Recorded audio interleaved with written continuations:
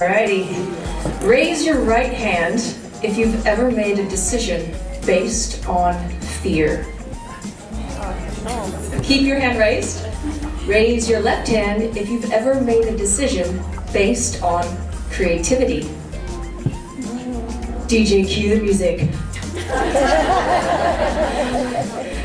Every day, we are given the chance to make thousands of choices. Most of them we don't even think about. Coffee, tea. Gym, no gym. Cranky with the kids, patient with the kids. There's decisions daily, and we can make decisions based on fear or based on creativity. Just didn't know what to do. I thought, what makes me different from other artists?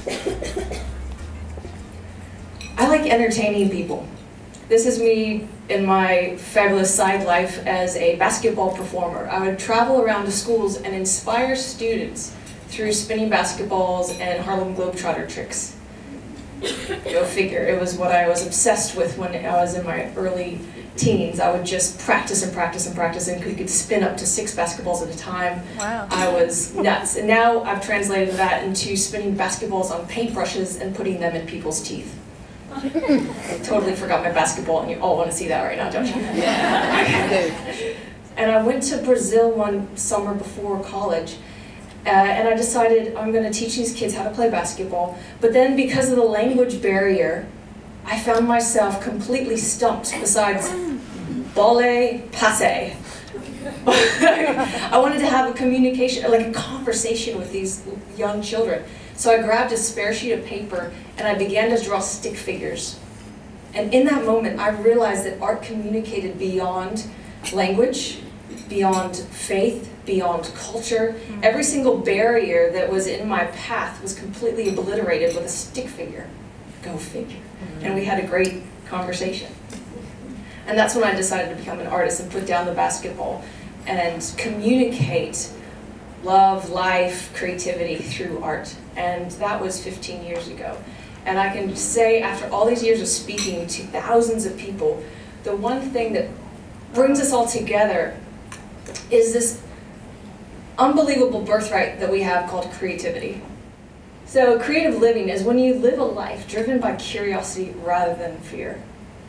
And I just encourage you today, maybe at the end when you're networking, to have a chance to ask your neighbor and say, hey, can you think of one story from your life where you made a decision based on curiosity rather than fear? And where did it take you? Where did it lead? I was recently listening to a woman, Gill Hicks. Have you ever heard of her? She's one of the survivors from the London bombing. Yeah. She said, I never was late for work ever. And the one time I missed the train and had to take the bus happened to be the day that a bomber was on that train, on the bus. And she was just two people away. It blew out her legs.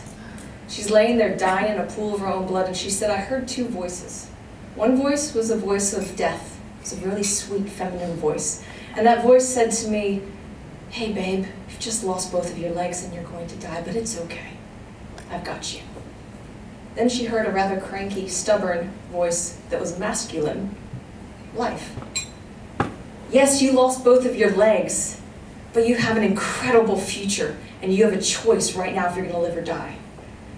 I don't know how she did it, but the human body is rather remarkable. And she sat up on the stumps and tourniqueted her own legs calmly to where everyone else in the bus was like, how are you so calm in the midst of the pain you must be oh, in?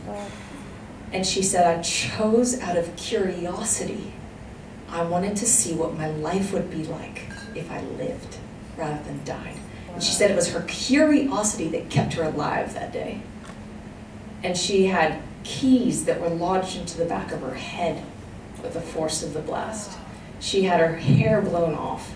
She said the hardest thing was looking in a mirror when she awoke out of being resuscitated three times on the way to the hospital. Hmm. And now she uses her voice and she's got a great sense of humor. She was only like this tall, under five foot at the blast. And so when they gave her new legs, she said, hey, guess what? I've always been really short. Can you make them, I want to be tall. And she walked out of that hospital like five and a half feet tall. she was loving it. But now she uses her voice to work with people that think they need to use violence as a way to communicate their message. And she says, no, we can use peace.